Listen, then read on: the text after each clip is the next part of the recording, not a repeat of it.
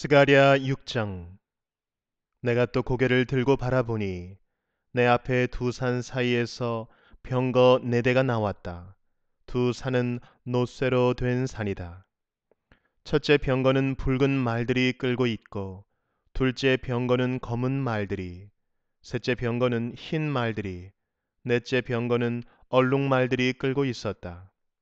말들은 모두 건장하였다.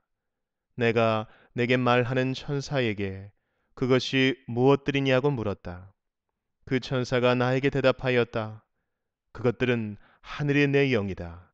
온 세상을 다스리시는 주님을 뵙고서 지금 떠나는 길이다.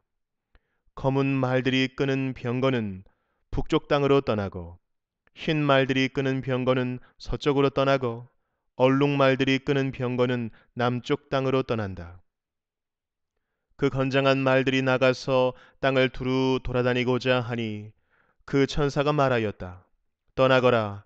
땅을 두루 돌아다녀라. 병거들은 땅을 두루 돌아다녔다. 천사가 나를 보고 소리를 치면서 말하였다. 북쪽 땅으로 나간 말들이 북쪽 땅에서 내 마음을 시원하게 하였다.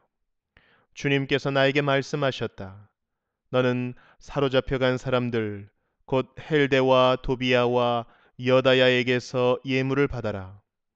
그들이 바벨론에서 와서 지금 스파니아의 아들 요시아의 집에 와 있으니 너는 오늘 그리로 가거라.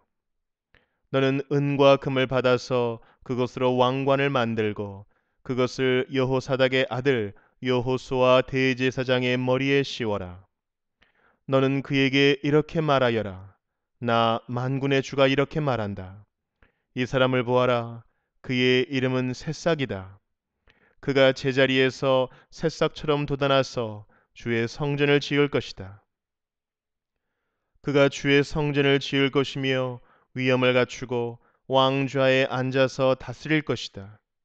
한 제사장이 그 왕좌 곁에 설 것이며 이 두 사람이 평화롭게 조화를 이루며 함께 일할 것이다.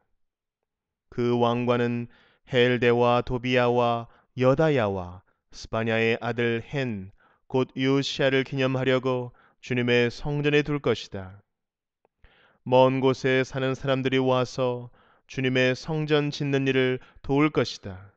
그때야 너희가 만군의 주님께서 나를 너희에게 보내셨다는 것을 알게 될 것이다. 너희가 주 너희 하나님께 진심으로 순종하면 이 일이 이루어질 것이다.